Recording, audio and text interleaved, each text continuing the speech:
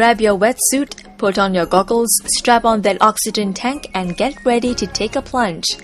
Doesn't matter if you've never gone scuba diving before, you can still try it at the Asia Dive Expo 2010. Best of all, it's free. I feel a little bit of nervous and uh, well, I just concentrate that I think two things: breath, breathe in, breath out. That's it. What I in my mind. Yeah, yeah. But it's fun anyway. As you can see from our confined waters here, there's no current. Okay, so it's the water is very clear. But out in open sea, uh, there's current, there's wave.